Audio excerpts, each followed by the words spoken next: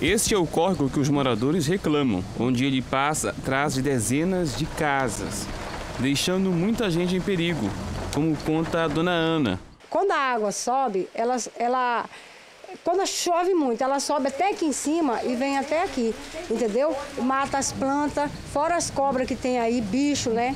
E a gente quer que todo ano eles a limpam, mas está com dois anos, vai fazer três anos que eles não vêm a limpar, não manda mais o maquinário. Aí o que, que acontece? Toda vez que eles vão entrar ali, tem uma cerca lá e eles não querem passar.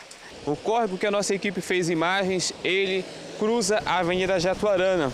Com as fortes chuvas, a força da água tem rompido, por exemplo, até parte do meio-fio da avenida.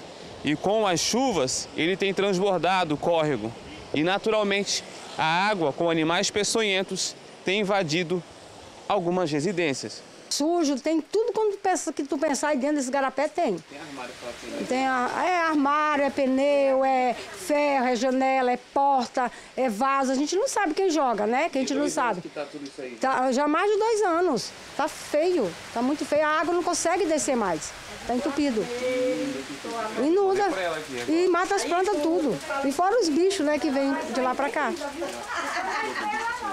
A gente já jogou, encontrou, foi cobra. Cobra aí, já muito cobra grande.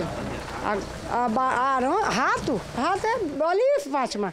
A, rato aí é brincando da pira. A situação requer cuidados e atenção, porque caso o córrego transborde, pode atingir muitas famílias.